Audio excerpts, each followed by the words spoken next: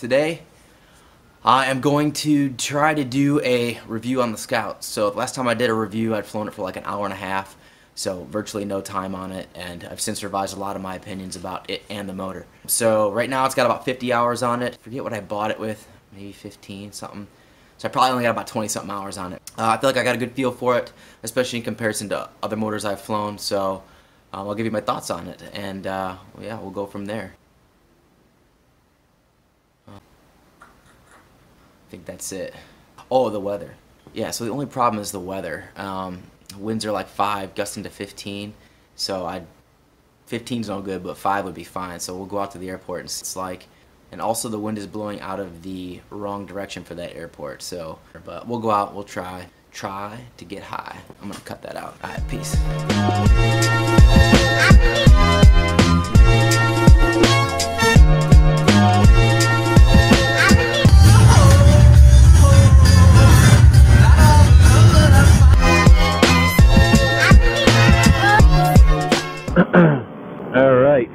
So, trying to conserve battery, so I did not film my launch, which is unfortunate because it was pretty good. Yeah. So today's flight plan is to do the Scout review, Scout and the Moster review. Um, hopefully there's battery in this. I should have checked. Oh yeah.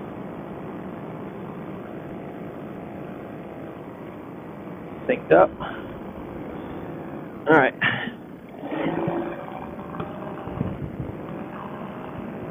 All right. That should be good. All right. So, review. Also, I am flying a new wing, but I'm going to save that for another day. I'll go over what I bought. Looks the same. It. I'll just tell you, it's another Hadron. It's just smaller. It's an 18. So, um, and yeah, I'll say, only thing I tell you about this wing is it launches a lot faster than my last wing, which is a bummer. Um, but it's good, and the brake lines are a little bit long. Um, okay, so review. I wrote all this stuff down on a piece of paper, and I forgot to bring it. But I have put uh, 20, uh, 20 something hours I don't remember the hours of the motor when I bought it, but I, I think it's around 20, 25 hours on the motor. Um, and when I did the first review, I had flown it for about an hour. However, now that I put some time on it, I want to address a couple things. So I, when I first bought it, I said that uh, the torque was, I don't know what word I used, but I was complaining about the torque. So uh, that and I even said when I when I mentioned that that it may just be that I went from a top 80 to a, uh, a Moster 185. So I can tell you now that that's what it was. So the torque I was complaining about was the torque that you don't feel with an 80cc motor. The torque you do feel with a 185cc motor. So uh, I don't think I had anything else bad to say about it. Um, most of what I said I liked about the motor I still do. So the harness is comfortable. Um, obviously, it's sexy. Um, but I'll start with the bad stuff. So after 25 hours, what I will say about this motor is that the not the motor, the frame, the Scout frame, is fragile. So that's why um, I'm hesitant to recommend this to beginners. I think that's why a lot of people are hesitant. I don't even think Scout recommended for two beginners for that reason. You guys probably saw my other video. If you didn't, I'll put a link right here. But uh, I did crash it. I came down pretty hard. The video doesn't look like I did, but that was about a five or six foot drop with the motor running full throttle uh, on kind of like almost a backward 30 to 45 degree angle. So all the force went right on the edge of that enduro frame and sent the the uh, cage into the prop, and I broke all my spars and everything. That being said, um, it, it's fixable. So I was able to fix 90% of it. All the spars on this motor have been snapped in half, and I repaired them. Uh, at home, I'd never done any carbon fiber work. I just did some YouTube research, bought some carbon fiber, and repaired it myself. And if I don't point it out, you can't tell. Uh, even when I do point it out, people are usually pretty impressed at how seamless it looks. Now, I did take a lot of time doing it. Um, a lot of people you could just throw duct tape on them or, you know, throw some carbon fiber and epoxy on there. Don't sand it or anything, and it'll look fine. But uh, yeah, uh, if you take your time, you can make it look really good. The cages, I broke three of those. Was able to repair two. Probably could repair the third, but haven't. Um, so yeah, even though it is fragile, you can't fix it. Along with that, it is uh, expensive, right? But I'm hesitant to say a paramotor they're all expensive. So you break anything on a paramotor, no matter what the, the paramotor, it's expensive to get fixed. So that's just part of it. That's part of the sport. Um, that is the only bad thing I have to say about this frame or the motor. So the good stuff, uh, like I said, super comfortable. Even though this weighs probably 20, 30 pounds more than the mini plane does, especially with fuel in it. Uh, I I'd rather walk with this on my back than the uh, than the mini plane. Uh, so, yeah. Uh, I think it's just the way the harness is set up or where the weight, obviously it's where the weight is on your back. Oh, obviously the power. So, again, I've only flown a, a few top 80s, a few different top 80s on a mini plane frame. I flew a Nitro 200 briefly, and then I've flown this. And I'm going to tell you things you already know here. So the top 80 was the lowest amount of power, but it was lightweight. Uh, the Nitro, everyone knows, is known for lightweight, good power. Um, but uh, the Moster 185 has more power than the Nitro, so uh, that is amazing. Especially at my weight, I weigh 149, 148 pounds, and uh, me with this motor, uh, even this 18 meter wing, the, the power is amazing. I can climb. I mean, faster than I need to climb, for sure. In fact, I've been climbing this whole time. Uh, I'm getting pretty high. Yeah, so level flight on this is like 5,500 RPM at my weight range. So I'm, I'm 100 kilograms all up, maybe 105 if I uh, bring gear with me. Um, next, so covered that power. Uh, the motor. So the motor, um, when I bought this motor, the Scout with the uh, on it. Something I wasn't expecting was the customer service that I got. So I bought the motor, and immediately after I bought it, somebody from Halo reached out to me and asked uh, where I got the motor. I don't even know how they knew I had obviously social media, but asked where I got the motor. I told him who I bought it from. He said, "Oh yeah, we know, we know him, Jason. Uh, we even know where Jason bought it from." So they do the whole history of the motor they said, yeah, let us know if you see anything. So obviously when I crashed my motor, uh, I reached out to them and they hooked me up with everything I needed, not just the parts I needed.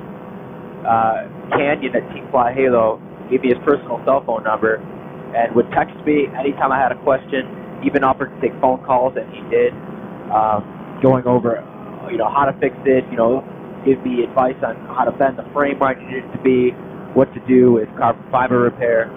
Um, obviously, shipping speeds, everything like that. Everything I needed, they had. I even needed some odds and ends parts for my uh, uh, for the end of my spars, little ball joints. Shipped them out to me. Gave me more than I needed. I even had a couple spares. Um, so that was amazing. Didn't buy that from them new. They got no revenue from me. In fact, bought nothing from Team Fly Halo except for the gear that or the items that I needed to repair the Scout. Yet they were more than willing to help me. Uh, finally, today actually, uh, I was sitting at work and I got a, a, direct message on Facebook from Matt Minyard. I'm sure you guys know who he is. Um, and I'd never spoken to Matt before. I only knew him from popping up in people's videos and uh, his own YouTube channel and whatnot. It's getting bumpy up here. Got me curious. Um, so yeah, I didn't know who Matt was, and I'm just checking for weather. Uh, so yeah, sorry, back to it. So Matt reached out to me, uh, and just out of the blue asked me, uh, "Do I own a Moster 185?" I said yeah, and then he asked, started inquiring about how I liked it. I told him I love it, great, and. Uh, his reason for reaching out to me was simply to ask if uh, I had any issues and what he could do to help. And like I said, I never talked to Matt. I never purchased anything from Matt. I don't even know how he or why he decided to reach out to me. But it's pretty crazy to have uh, someone like that reach out and just say, you know, if you need anything, you're not getting the support you need from your local dealerships, reach out to me and I'll help you out. So, uh, again, just fantastic customer service, which uh, I think, I mean, it's almost paramount in, in this uh, sport because it's not like you can go to the paramotor parts store down the street and pick up parts. You need a good support network behind you, uh, and I really feel that I have that. Now there are other people that have good uh, customer service. I know Aviator PPG is great. Um, I don't own a Nitro, but um, they've offered me advice several uh, cases. Damn, dude, what the hell's going on over here? So yeah, I'm trying to think if there's anything else I forgot to say about it. Um, so I haven't had any of the major issues that people complain about with this motor. Obviously, the number one being the exhaust. Uh, I do warm my motor up before I fly. I don't know if that has anything to do with it. Um, I maintain the motor. I, I don't adjust the carb radically, which some people have uh, indicated that may be an assignable cause for for exhaust cracking. I don't know if I believe it or not, but in any case, I, I take care of it, clean it, look at it, inspect it. Haven't had to do any major major maintenance on it. I will in the next uh, hour and a half of engine time. I'll be swapping out that bushing, replacing springs and whatnot. So, but really, other than that, uh, my experience has only been positive. And even if I do get an exhaust crack, uh, I feel good about the customer service that I'll receive from from Matt or anyone else. So. Uh, like I said, I'm, I'm pretty stoked about it. Um, no complaints from me. Love this motor.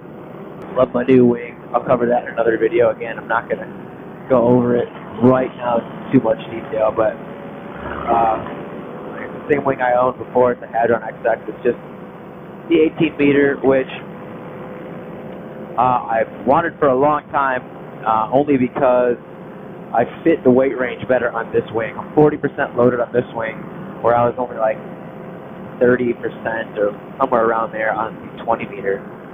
So, um, and I can tell you right now that it's, I mean, substantially different. I haven't even really rocked it yet, but dude, this thing's gnarly. That was like, I don't even know, like one inch of brake input on either side. And uh, I just rocked it like that, just barely touching it. So, yeah, man, I'm gonna go fly out this wing or check it out. And uh, I want to go that way, but there's something gnarly going on over there. I'll go this way.